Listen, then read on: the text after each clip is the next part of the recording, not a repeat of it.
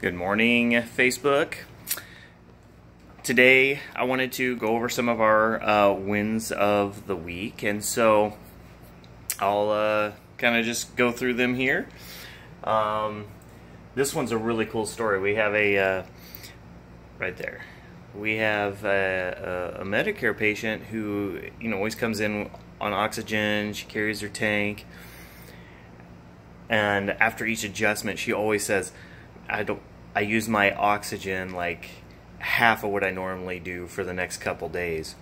And so that's pretty cool. So we're actually helping her so she can breathe better. So that's pretty awesome. Uh, oh, this guy. This guy's a really cool one. he come in, we, we adjust him. He's like, man, I feel great. He's he was a, a, a former basketball player, I believe, and uh, he said, man, if I would have had you guys 30 years ago, I could have went pro, and so that was that was pretty cool.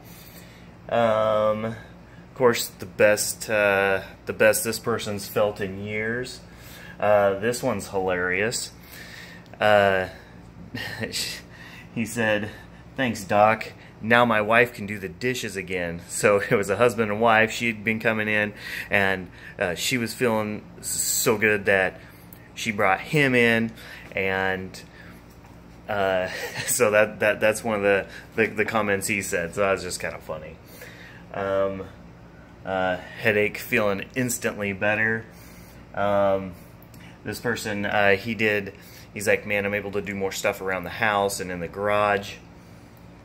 Uh, and then a jaw. So we had a jaw. I, adjust jaws all the time, uh, but this one was really good, really quick and fast. After an adjustment, um, uh, worked on the jaw and stuff, and like my jaw doesn't pop anymore. And uh, sometimes it doesn't happen like that fast, but that, that was awesome. That was like an instant uh, uh, relief for for her. And so, anyway, these are just uh, some of the wins of the week. So you guys have an awesome uh, Friday and a fabulous weekend.